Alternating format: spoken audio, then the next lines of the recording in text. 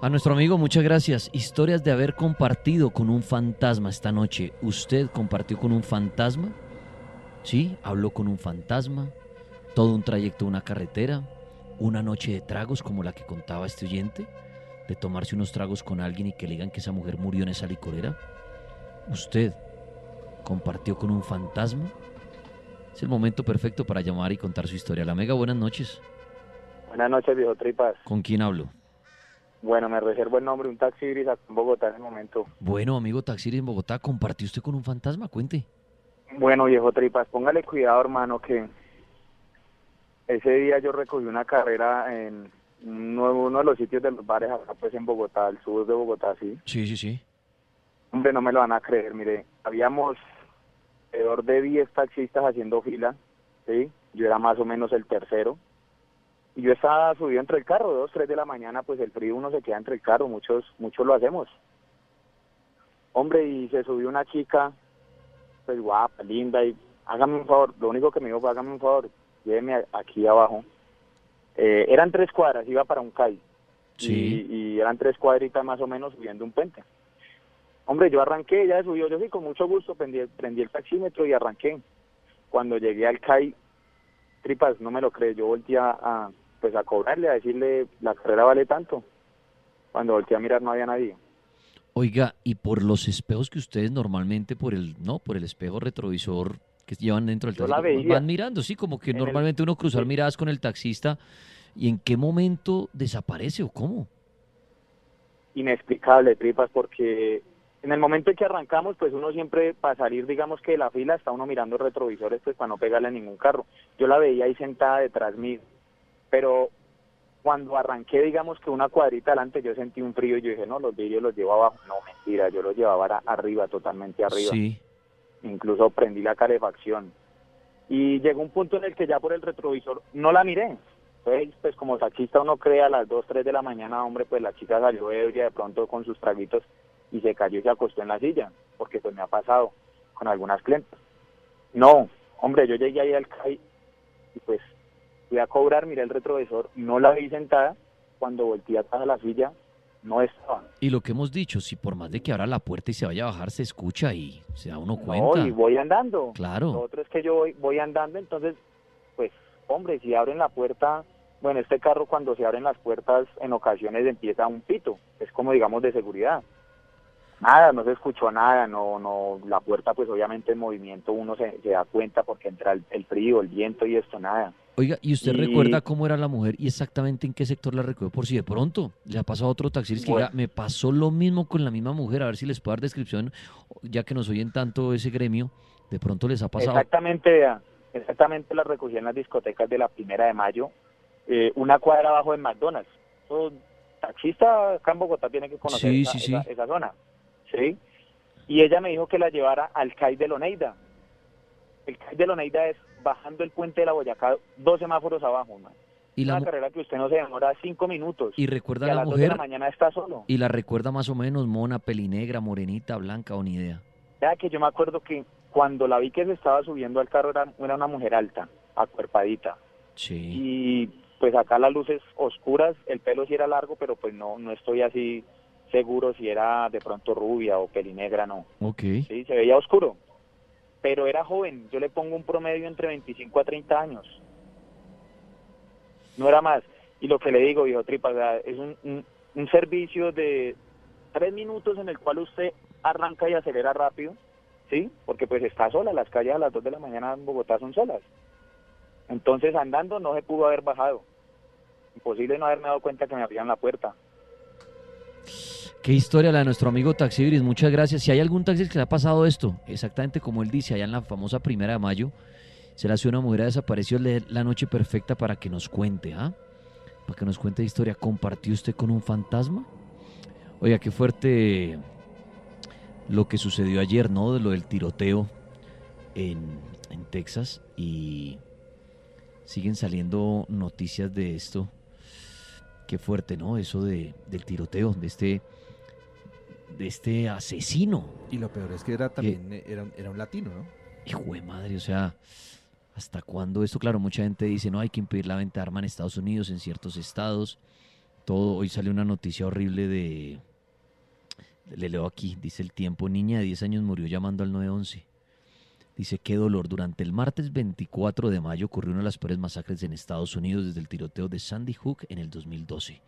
Hasta el momento hay un registro de 21 víctimas, entre ellas 19 niños y niñas y dos profesoras, quienes murieron en el tiroteo que ocurrió en la Robb Elementary School en Texas. El atacante también murió. Una de las víctimas fue Amery Joe Garza, de 10 años, quien al parecer intentó llamar al 911, línea de emergencia de Estados Unidos, para informar lo que estaba sucediendo. Su abuela Berlinda Irene Arreola le comentó al medio The Daily Beast que a su nieta le habían disparado por intentar comunicarse con la policía. En lugar de agarrarlo y romperlo, quitárselo el celular, le disparó. Estaba sentada justo al lado de su mejor amiga. Además comentó que el mismo día en horas de la mañana la niña estaba celebrando haber quedado en el cuadro de honor de su salón. Ella era súper extrovertida, tenía un corazón generoso, siempre estaba allí para darle una mano a cualquiera. Después yo cada vez que veo estas noticias, ustedes dirán, tripas y es mamón con ese tema, pero yo hago la pregunta. ¿Dónde está Dios? 934. ¿Usted compartió con un fantasma? ¿Cómo fue esa situación? ¿Lo montó en su carro? ¿Tomó unos tragos con el fantasma? Cuéntenos su historia. Paul, una historia. La Mega, buenas noches. Buenas noches. ¿Quién habla? Amigo, ¿le, puede bajar a su radio, por favor? Sí, ya le bajamos, ya le bajamos. Listo. ¿Quién habla? Eh, habla Eduardo Tripa. Eduardo, ¿desde dónde nos llama? Eh, desde acá y de Siloé, Cali. ¿Cuál fue su experiencia? Eh, pues mira, yo tengo varias. Lo que pasa es que yo soy muy devoto de las ánimas y resulta que pues yo le hacía promesa a las ánimas y, y le prometía que cada lunes iba hacer la oración. Sí. Y resulta que un lunes cualquiera yo me encontré ya terminando la oración que uno hacía allá en, el coche de las ánimas. Cuando me volví, yo el camino de las tumbas de ahí para adelante lo vi desocupado, pero cuando tiempo ciertas otras tumbas de unos muros del cementerio, me encontré yo una, una, una dama, pues, por ahí de unos 35 años. Sí. Y me puse a conversar con ella ella me dio el lado, me sonrió y me vine conversando, salimos del cementerio y acá si lo ve. Y pues inclusive ella me dio el número del teléfono. Y resulta que yo la llamo como a los dos días. Y al segundo día de llamada me contesta una señora y pregunté por el nombre de Astrid. Cuando resulta que la señora me da la sorpresa de que la muchacha era hija de ella. Pues la, la, la señora de los de los años que yo le acabé de nombrar, que era hija de ella, y no, que yo me quedé sorprendido. Entonces ella me dijo, aló, aló, y yo le dije, sí señora, aquí estoy en la línea todavía. Y resulta que le pregunté, y que, ¿cómo así? Y me dijo, sí, ella murió, y yo le dije, pero es que yo hace dos días conversé con ella saliendo del cementerio. Me dijo, no, no puede ser, eso, eso es imposible. Y le dije, ah, pues si le estoy llamando es porque ella me dio el número de teléfono. En ese contacto, pues, aquel día, ¿Usted no notó nada extraño? No, no, no, no. Simplemente cuando yo me saludé con ella, yo sentí un escalofrío en el cuerpo. Pero normal, sí, como de cementerio. Sí. Pero no sentí miedo, no. O sea, yo no he sentido miedo que yo diga que, que, que yo vivo lleno de temor y de miedo. No, yo he vivido muchas experiencias. Vea, la verdad se la voy a decir, vea. Yo no sé qué pasa conmigo, pero desde muy niño yo tengo un, como, como un sexto sentido, no sé, yo he presentido la muerte de muchas personas, de muchas. Presentí la muerte de mi abuelita, la de mi tío, la muerte de mi hermano, la muerte de un muchacho que andaba en una moto que nos guiamos juntos en el barrio. Y yo vivo pues pensando mucho en eso. Imagínense que yo el 2 de noviembre, antes del 2 de noviembre, antes de empezar noviembre, yo le dije a mi esposa, amor, prepárese porque usted va a tener que acompañarme a una clínica por urgencia. Voy, me voy a ver muy malo y va a tener que acompañarme, así que esté preparada. Y eso me lo muestran a mí en sueños, todo me lo muestran a mí en sueños. Y preciso, el 2 de noviembre me dio un derrame. Yo salí de laborar el día primero de noviembre de, la empresa y el día de noviembre, el 2 de noviembre yo descansaba y ese y ese 2 de noviembre me dio un derrame y ella le tocó correr conmigo para la clínica. Derechito me dio un derrame y yo me jodió, veo, me jodió. Me paralizó lo que fue la parte de la cara, media parte de mi cuerpo lo tengo paralizado, lo que es la parte izquierda. Historias. Usted ha compartido con un fantasma 938. De pronto tiene este don, como hablaba nuestro amigo, tiene ese sexto sentido despierto de ver los fantasmas, pero no solo verlos. Al poder verlos, usted ha podido charlar con ellos. Ha, compartido con un fantasma un, un, tiempo, unos minutos. Cuéntenos su historia por increíble. Yo sé que mucha gente dice que la va a creer. Compartió usted con un fantasma, está loco, se lo imaginó. Pero si usted lo vivió, cuéntenos. La Mega, buenas noches. Muy buenas noches, Gripa. ¿Con quién habló? Con Cristian. ¿Qué hubo, Cristian? Cuente cuándo convirtió con un fantasma. ¿Cómo fue eso? Eh, mira, primero que todo, yo soy guardia de seguridad. Sí, señor. Eh, bueno, entonces yo estaba en Santa Marta en el 2013. Eso fue para la, para la clasificación de Colombia en 2014 Brasil. Sí. Bueno, yo entonces, yo como estaba en Santa Marta, pero yo soy de Barranquilla. Entonces, yo estaba, yo tengo un super, bueno, tenía un super amigo en Barranquilla. Entonces yo estaba y se me presentó allá en ese momento, no sé cómo llegó allá, a La Paz de Santa Marta. Yo estaba tomando en ese entonces con él. Y le dije, ¿qué estaba haciendo por acá? No, estoy visitando una amiga y estamos aquí en el rodadero. Y vine por acá y encontré el estadero más cerca y no, bueno, bien, entonces comenzamos a tomarlo todo ahí. Y viene el partido y tal, tal, entonces comenzamos a echarnos agua porque clasificó la selección y él me dice, guárdame la cartera porque se me van a los documentos. Yo como tenía siempre un, un, un bolsito terciado, yo guardé la cartera de él. Bueno, bien, se fue, mi marido y me tengo que ir, tengo que trabajar mañana. Sí. Eso fue, eso fue precisamente el 11 de, de, octubre de 2013. Bueno, bien, y a las 11, 12 de la noche me llama mi mamá que él se había, este, el difunto Julio, o sea, Julio, que Julio se mató en una moto eh, a las 11 de la noche en Barranquilla. Es con la misma persona que yo... ¿Que había estado eh, usted? Sí, con, conmigo, que ese era el mejor amigo que yo tenía. Y se me presentó allá en Santa Marta tomando conmigo a despedirme, no sé qué pasó ahí. Y yo le digo, eh, yo me quedé paralizado, seguro que es él, y yo no le dije nada. Entonces yo cogí la mariquera del bolso terciado y miré la cartera de él y tengo yo yo tenía la cédula y la cartera de él. Sí. Yo me quedé con la cartera de él. Entonces eh, yo en ese momento yo yo fui al sepelio de él y, le pregunté a los hermanos cómo se fue la muerte. No se tenía una muerte una, en una moto tomando. Él estaba aquí tomando con nosotros y se fue allá para la, para la pradera, no sé qué, y se estrelló por cerca del, de, en Barranquilla. Yo estaba en Santa Marta. Bueno, entonces me dice, este, pero ¿cómo, cómo, y los documentos? Y, no, no, se lo robaron, le, le robaron el reloj, la cartera, le robaron los zapatos, el teléfono y todo eso. Y, la moto quedó, etcétera. Yo, pero yo nunca, yo nunca, yo tengo la cartera, yo nunca le entro la cartera porque de pronto van a decir que yo fui que Eso, eso le va a preguntar, o sea, cuando dicen que no, me, va, no me va, no me se va a preguntar que a él le robaron eso, ¿usted aún mantiene esas cosas? Sí, señor, yo tengo todavía la, los documentos y todo eso. Es más, tenía 150 mil pesos y es más, todo, eso así como está, está intacto porque no me, no me atrevo a usted le a usted le dio miedo es que de pronto digan bueno usted es uno de los como responsables de la muerte del porque usted tiene la, la, la, cartera claro exactamente. Es más yo estaba laborando ese día. Yo estaba laborando pero como yo estaba ese día de turno de noche y ahí en Santa Marta eso es un espacio puesto y eso no eso no, como que no le diré, no, no había peligro, porque es una casita ahí, uno mismo, yo vivía ahí mismo. Entonces ahí estaba la playa y entonces yo encerré y me fui a tomar, como siempre lo había hecho. O sea que usted, mejor dicho, qué historia, porque aparte de haber compartido con un fantasma, obtiene algo que le da como la cartera que usted aún mantiene en su poder. Para usted que está viendo el cartel paranormal, piense en esta historia.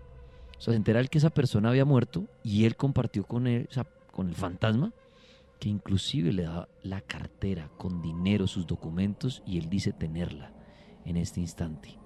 ¿Es esto posible? Bueno, son las historias que uno oye en este espacio en el cartel paranormal de la Mega.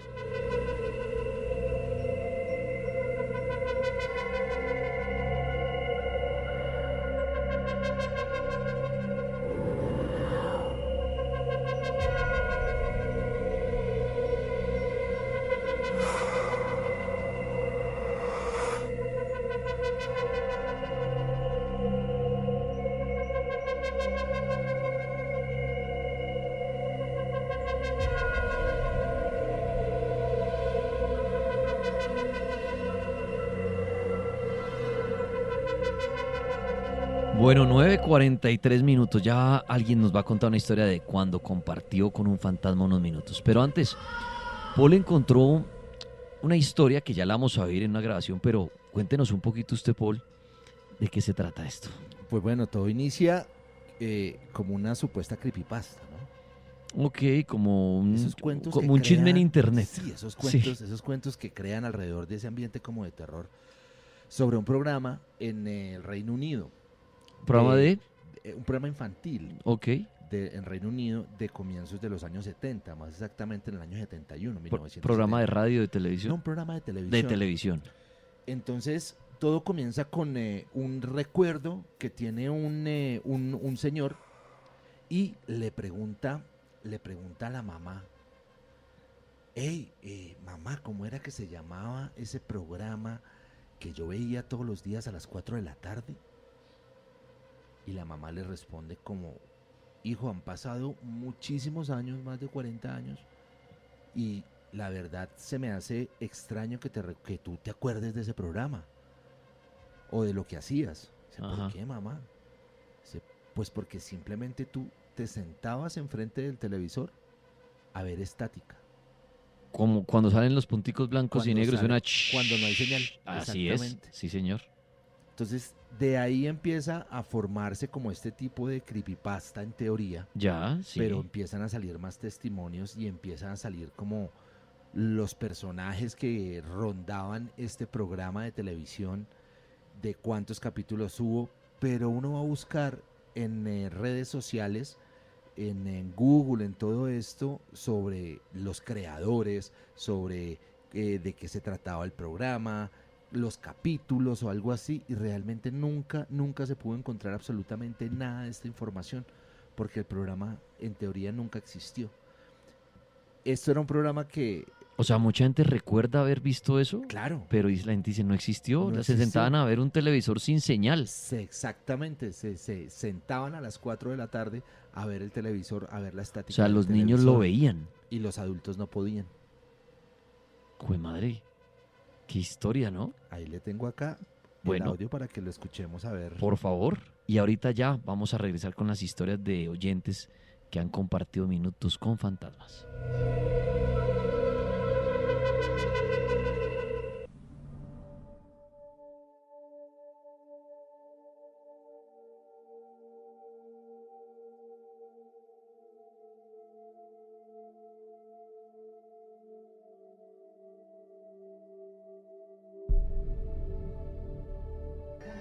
¿Alguien recuerda este programa infantil? Se llamaba Candle Cove. No he podido encontrar ninguna referencia sobre este programa, pero creo que salía en una estación local por ahí en 1971 o en 1972. No me acuerdo del canal, pero recuerdo que lo pasaban a eso de las 4 de la tarde. La verdadera historia de Candle Cove, que era un programa de televisión con temática de piratas, que usaba títeres, este se transmitió por el año 1971. La trama de la serie sucedía en un lugar llamado Candle Cove y el argumento giraba en torno a una niña llamada Janice que se imaginaba a sí misma siendo una amiga de unos piratas. La serie era muy perturbadora y contaba con personajes aterradores, tales como el robapieles, que era el villano de la serie. Este se convirtió en una creepypasta y realmente es desconocido su tiempo de duración. Se sabía que era un programa de televisión, pero que realmente es inexistente. No se saben quiénes fueron sus creadores. Solamente se sabía que inducía a pesadillas y manipulación del miedo. El show hacía que sus espectadores tuvieran pesadillas con las marionetas gritando sin parar. Un sueño que es compartido por todos los que supuestamente vieron el programa y que provocaba un terror intenso. Esto al tratarse de un programa de televisión. El final de la historia concluye que el show jamás existió realmente. Los usuarios que lo recuerdan solo veían un canal con estática y mientras que ellos, de niños, sí podían ver el programa, sus padres no. Debido a que no es controlado por nadie, Candle no puede usarse como tal. La única forma de verlo era sintonizando la televisión en el canal 58 a las 4 de la tarde, pero esto solo se podía hacer durante los momentos en los que se emitía el tan solo verlo provocaba todos los efectos antes mencionados en sus respectivos espectadores. ¿Alguna vez se le entrevistó a uno de los supuestos televidentes del programa que por qué recordaba este programa? Su madre respondió que nunca pensó que él se fuera a acordar que de niño solamente veía que él se sentaba enfrente de una pantalla a ver la estática del televisor. De tal manera que ese programa o esta supuesta creepypasta pasa de ser eso, una creepypasta, a ser una realidad.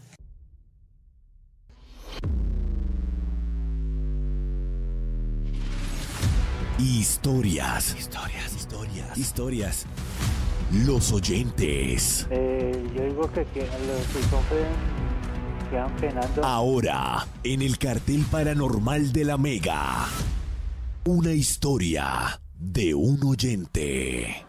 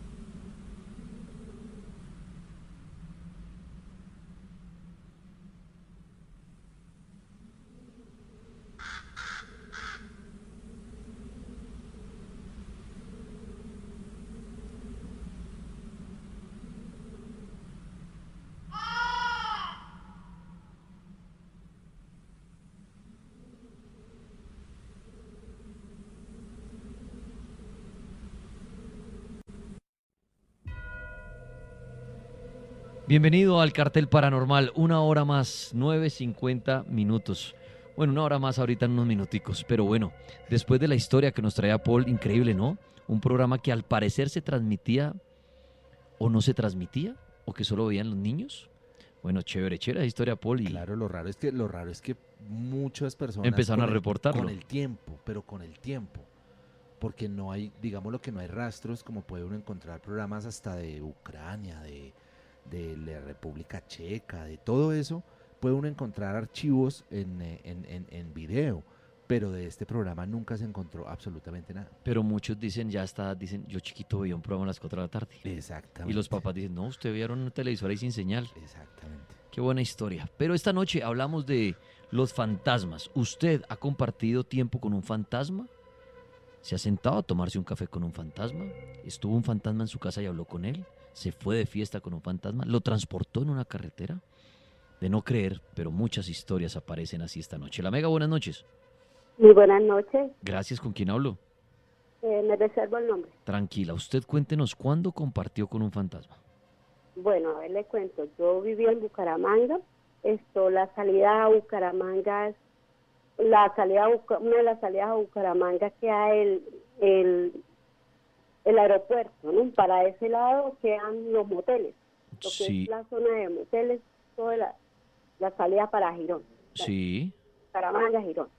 Esto resulta que nos fuimos con unos amigos, en esos días estaban en unas ferias allá, en unas ferias patronales, en el pueblo de ahí que queda el aeropuerto, pues nos fuimos con los amigos en el taxi y los muchachos pues nos metieron al motel.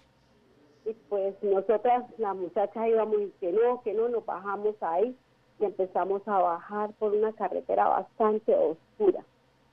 Eh, cuando resulta que nos paró un señor de un taxi porque nos vio pues solas y nos llevó hasta el pueblo, no nos cobró, al otro día fuimos a buscar allá esto donde donde donde van los taxis, donde queda la, la central y sí. nos dijeron que ese señor hacía mucho tiempo se había muerto, hacía mucho tiempo que se había muerto, que se había accidentado precisamente en esa carretera. O sea que usted tomó un taxi, o o sea, Tomamos, tanto el, tanto el, car- tanto carro, tanto el carro como la persona hablaríamos de un carro fantasma y el señor. Sí, sí, pero nada, el señor, o sea, normal, normal, una persona eh, que por ahí unos 50 años, 60 años nomás, normal, una persona muy normal, no le vi nada extraño, que brindara, que nada. ¿Cómo? Una persona muy normal. ¿Cómo sabían en la central de taxis que ustedes se ¿Cómo? referían? ¿Cómo sabían en la central de taxis a donde fueron Porque ustedes a averiguar? lo escribimos y nos dijeron que ya varias veces les habían, les había pasado lo mismo, que varias personas ya habían ido a preguntar por la misma persona. Entonces, como, como que es normal, ¿no? Pues qué historia, imagínense, no solo la persona, sino el carro fantasma. Y un trayecto largo para llevar a la persona allí. Y ahora, y llegar al lugar. O sea, llegaron al lugar gracias a un carro fantasma. Eso es, eso es lo otro. O sea, diferente es subir al fantasma en el carro de uno. Sí. Pero que usted se suba en un carro fantasma y lo transporte. Eso es como si uno, no, si uno llegara a un pueblo, no en que se vino, no en el bus de tal marca y uno, pues si ese bus no viaja acá, ¿cómo que no? Si venía yo en un bus y, y veníamos varios, no, ese bus ya no viene aquí, es un bus fantasma, ¿imagina ustedes eso? El carro fantasma. Aquí había una, también una, un- una historia, ¿no? En Bogotá, el Transmilenio Fantasma. Sí, el, que sale- el último, el de las 11 de la Sí, noche. el que se aparece un Transmilenio fantasma y todo ese cuento. Pero bueno, ahí está esa historia, ¿ven? Que estas historias existen. Hay personas que dicen haber compartido con un fantasma y en esta ocasión no solo con el fantasma, sino con el taxi del fantasma. Una pequeña pausa y al regreso, historias de personas que sí, que han compartido con fantasmas aquí en el cartel paranormal.